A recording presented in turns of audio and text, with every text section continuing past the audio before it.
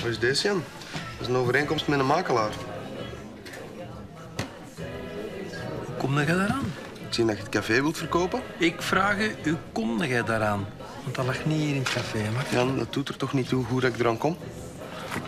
dat papier lag in mijn appartement. Dus dat wil zeggen dat jij in mijn privé zit rond te neuzen. Maar helemaal niet. Ik ben boven gewoon een stuk zeep gaan pakken omdat de zeep hier in het toilet op was. Ja? En dat lag gewoon open en bloot op de aanrecht. Dat is toch altijd geen reden hè, om mijn papieren te lezen? Natuurlijk wel.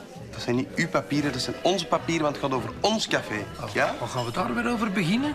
Jan, die mens die was hier gisteren niet alleen voor te komen schatten, hè? Nee, nee, nee. Waar zit je eigenlijk mee bezig? Hè? Zo'n beslissingen kun jij niet alleen pakken, Jan. Ja, nee, nee, maar meneer pakt hier wel de beslissingen alleen. Wat de beslissingen. Echt, god, ik ga nu blijven moeilijk doen over zo'n klein bagatelletje als wat er op die flyer stond, of wat? Dat is geen bagatelletje, hè. Dat is een grote bagatel. En dat is het bewijs hè, dat wij vernoten zijn die niet goed overeenkomen. Maar met u kunnen echt niet klappen, hè. En dat is de reden. Dat is de reden waarom ik het café wil verkopen. Omdat wij niet overeenkomen.